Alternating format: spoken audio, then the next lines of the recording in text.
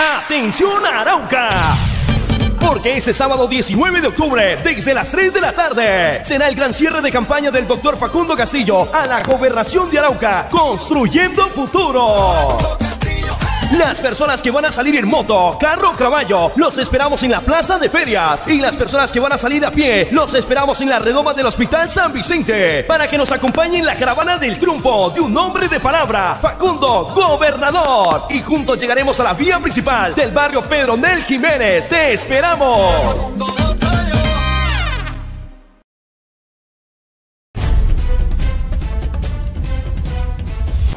El Gaula de la Policía realizó campaña Yo no pago, yo denuncio contra la extorsión y el secuestro en el municipio de Arauca. Las estadísticas revelan que las personas afectadas han denunciado oportunamente antes las autoridades competentes. El Gaula de la Policía Nacional y Militar realizaron una campaña en el parque principal de la capital araucana con el fin de evitar las extorsiones y los secuestros en esta región del país. También hicieron un llamado a la comunidad para que denuncie. Bueno, el día de hoy estamos haciendo una campaña de prevención junto con Fuerzas Militares, Cámara de Comercio, con el fin de llevar esa promoción de todas las herramientas que tenemos nosotros para prevenir el tema de delito de hurto y extorsión en el departamento de Arauca. Según el teniente Rafael Peña, su comandante del Gaula de la Policía, se busca es acercarse más a la comunidad araucana. Pues primeramente queremos tener cercanía con la comunidad, que ellos también entiendan que nosotros no somos únicamente ese ente coercitivo, que realmente podamos acercarnos un poquito y de esa manera también entrar a explicarles un poquito cómo es el tema del delito, cómo son los delitos del, secuestro y la extorsión.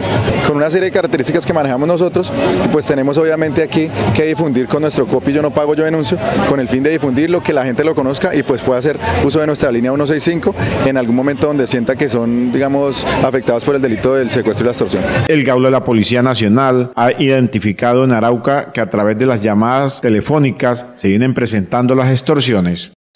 Bueno, pues realmente nosotros aquí tenemos identificados algunos modos operandi como son las llamadas. Eh, en algún momento se presentan a los comerciantes, eh, a la gente del común, pero tenemos que evidenciar también que este tipo de llamadas no siempre son de extorsión. Muchas veces, y se presenta mucho en el departamento de Arauca, eh, que son más dirigidas hacia la estafa. Entonces, esa es la, lo que queremos llevar a la comunidad, que aprendan un poquito a diferenciar el tema entre la estafa y la extorsión y poder que ellos tengan esas herramientas para que en el momento en que se sientan afectados, pues poder combatirlas de la mejor manera. Los habitantes de Arauca que están siendo extorsionados han estado denunciando. Eh, sí, ya digamos que gracias al acercamiento que nosotros tenemos se les explica realmente cómo se puede llevar a cabo la denuncia, cómo nosotros podemos realmente ayudarlos en caso de que sean víctimas de estos delitos y se ha generado eh, más denuncias aquí en el departamento. Por último, el Gaulo de la Policía hizo un llamado para que denuncien los secuestros y las extorsiones ante las autoridades.